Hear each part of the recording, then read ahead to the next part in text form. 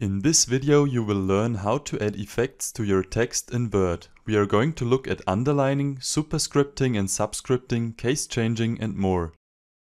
So let's start with the very basic text effects. First we highlight the text that we want to change and now we will just go through some effects and try them out.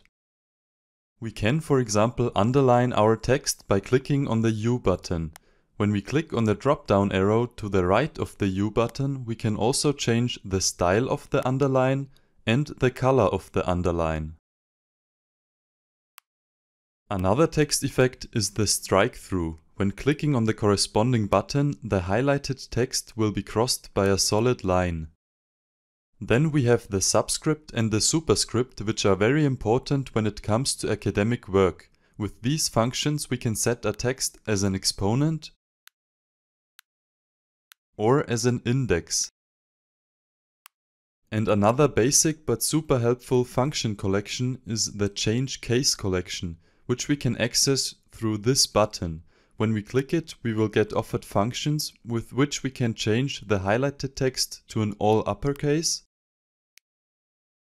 or all lowercase text immediately. We will also be able to capitalize every word. Now you know a bit more about the basic text effects in Word. Watch the other videos to learn more about font formatting.